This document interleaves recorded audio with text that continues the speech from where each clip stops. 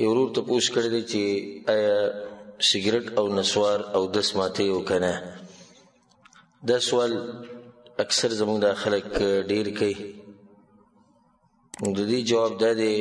او بالله التوفیق چې د سیګریټ او د نسوار سره او دس نه ماتي دا غي وجه ده چې دې سره عقل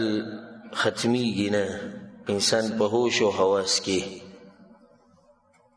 او دې کې څه شک نشي چې دا یو حرام او خبیث او پلید شی دی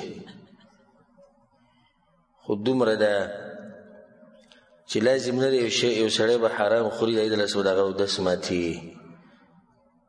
داسې قاعده نه ده او نه څه قانون دی ده په شریعت کې چې څوک کوم حرام وخوري د به اودس ماتي نو هغه هغه نشي سره او داس ماتېږي چې انسان دماغ وسره بالکل ختم شي نو هغه د ځان نه خبر او د دې دا مطلب نه دی چې په سیګریټ او په نسوار کې نشه نشته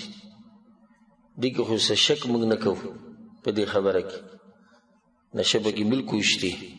خو دومره ده چې د استعمال سره اودس نه ماتېږي اودس کول غوره او عقل درجه ده چې خلق به کنګاله ځکه چې رسول صلی الله علیه وسلم وی چې تاسو وګو خوري پیاز وخوري نو جمعه ته مرزي الکه دا حلال شي نه چې سره حرام شي استعمال کې د خلینو څخه بنزي خصوصا د سیګریټ وره نو د دوی نه بسنګ به د ملائک تنګي سمره بدی تنګي او دا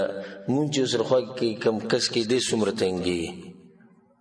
باقی نسوار او سیګریټ استعمالول دغه تجارت کول هغه خرڅول غستل دا ټول حرام دي الله سبحانه وتعالی په قران کې وایي يسالونک ماذا احل لهم دوی تر ته پوس کې چې دوی د پر سه حلال قل احل لكم الطيبات الله پاک شي نه حلال کړي په بل ځای کې الله سبحانه وتعالی د پیغمبر خبره کوي او یحل لهم الطیبات و یحرم علیهم الخبائث چې د پاک شي نه حلالي او پلیت شي نه به حرامي او د پلیتو کې د ناراضي د شان نشم ور کوي نو نسوار سیګریټ او د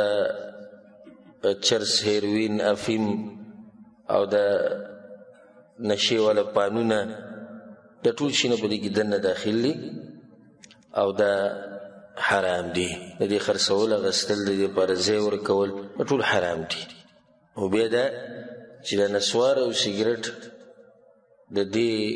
نشه دومره نه چې انسان هوش او حواس ورڅخه ختم شي نو ځکه صحیح خبره بدای والله عالم اگر که بعض علماء چې دې سره ودس ماتيږي هغه د چې نسوار او سیګریټ د استعمال سره ودس نه ماتي هو دس کول غوړه دي والله اعلم